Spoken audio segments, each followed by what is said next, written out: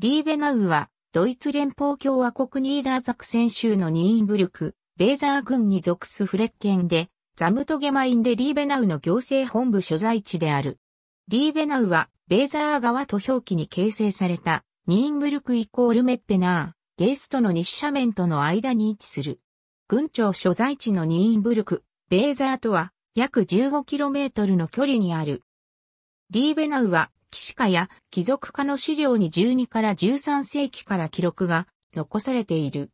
リーベナウという名前が初めて明示されているのは1167年のハインリッシ史公の文書である。町内にあるハイトベルクで紀元前800年から紀元後800年頃の墓地の発掘が行われた。その副葬品は遠く離れた地域との交易関係がすでにあったことを示している。キリスト教徒の墓も発掘されており、西暦800年以前にはすでにキリスト教と関わりがあったことが伺われる。この墓の住民たちの集落はやがて衰退し、現在のリーベナウ集落の南にあたるブルーフトルフ方面へ移転した。その後、10世紀にセーラウレンテウスを守護聖人とする新しい教会が建設され、ブルーフトルフ主任司祭区がこの時期に成立した。この教会区は民伝司教区に属し、民伝司教の司法権下にあった。ブルーフトルフの名前は、商人の名前アイルバルト・フォン・ブルーフトホルプとして、1167年に初めて記録されている。民伝司教は1241年に、ブルーフトルフ近郊のベーザー湿地にあったフェーナウという名の城塞をオルテンブルクビルデスハウゼン、白から購入した。領土を接する法や白が建設した水木、ニーゲンフース城に対抗して、民伝司教は購入後すぐに1242年に砦を拡張した。法や白は1346年にこの砦を破壊し、その廃材を利用して、グローセアウエ川の北側にリーベナウ城を建設した。この城の周囲に成立したのが、現在のリーベナウであった。1512年頃、リーベナウ城は、シャウムブルク博によって破壊され、単なる成長として再建された。14世紀の半ば頃に、ブルーフトルフとリーベナウは、行政管理を一体化させたのだが、30年戦争後まで、両者は別の村として記述されている。15世紀の初めにリーベナウは、フレッケンを授けられた。1709年にリーベナウは、シュタイヤーベルクと合併し、リーベナウの役場は1728年に取り壊された。1939年、リーベナウのすぐ西側に広大な弾薬工場、アイクホーファーハイデが建設された。ボムリッツのボルフ &COO の工場であった。この工場は、その後、モンタン GmbH に譲渡され、さらにボルフ &COO の100%子会社であるエービア GmbH に貸与された。エービア社はここで陸軍総司令部の指導下、火薬、火薬原料、ニトロセルロースやロケット燃料を製造した。1943年からはさらにロケットエンジンの試験台が設けられた。第二次世界大戦後も、はじめはダイナマイトノーベル社や後には、オランダのユーロメタル社が1994年まで、ここで火薬、弾薬の製造を続けた。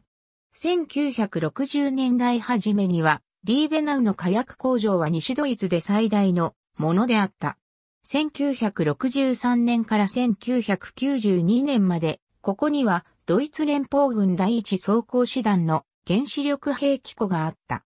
現在12平方キロメートルの工場跡地はほとんど利用されておらず、立ち入りは許可されていない。リーベナウのセーラウレンティウス教会、編集現在のセーラウレンティウス教会の場所には、かつて900年頃に建てられた木造教会があった。住民はセーラウレンティウスを守護聖人に選んだ。ホーヤハクとブラウンシュバイクリューネブルク校との間の領土紛争によってこの教会は一部が破壊された。北の入り口上の名文には1522年の再建と記されている。宗教改革後も、教会の守護聖人は、セーラウレンティウスのままとされた。これは、セーラウレンティウスが、カジヤの守護聖人であったためである。当時リーベナウは大釜の製造で広く知られていたのである。教会は小売ゴシック様式で建設されている。建物は十字型の三道式ホール教会である。外壁は荒石や氷石で作られている。聖具室は宗教改革後に作られた木組建築である。このプロテスタント教会は長さ40メートル、幅16.55メートルで、教会塔の高さは35メートルある。この教会の特筆すべき芸術品は、砂岩で作られた天外付き生体アンチ塔である。この後期ゴシック作品は高さが6.5メートルある。生体アンチ塔は、リーベナウで作られた連鉄製の格子庫内の祭壇に収められている。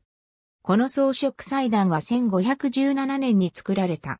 ビッテンフス郷土館、編集この建物は、リーベナウのオルト通り沿いの広さ約4000平方メートルの敷地内に立つこの地方の典型的な超農家の館である。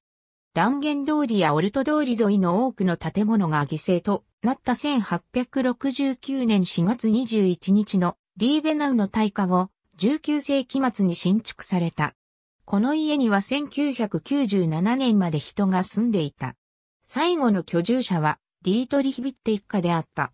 ほぼ100年間建築上の改造がなされなかったこの館は郷土館の施設として適したものであった。リーベナウ郷土協会のメンバーはボランティアでこの歴史的建築を修復し、設備を整えた。郷土館にはこの地方の手工芸が数多く展示されている。納屋では最近まで使われていた古い農業機械や農機具を見ることができる。倉庫には動作可能な状態の古い打刻機がある。展示会、朗読会、社交行事など様々なプログラムが郷土協会によって頻繁に開催されている。古い木組建築のひなびた、くつろいだ雰囲気は、リーベナウのカップルの結婚式にも好んで利用されている。アイクホーフ城、編集アイクホーフの森の中にアイクホーフ城がある。この城館は1938年までアイクホーフライツェンシュタイン家の館であった。この城には日本庭園があり、定期的に城館庭園、ロマン主義という催しが開催されている。シュトルゼナワー通り沿いの広さ2150平方メートルの墓地には1850年からの70基の墓石があり、その一部はヘブライ語のみで母名が刻まれている。リーベナウは古くから大釜やボビンレース編みで広く知られている。リーベナウはニーンブルグ、ベーザーからシュトルツェナウに至る修道351号線で結ばれている。ありがとうございます。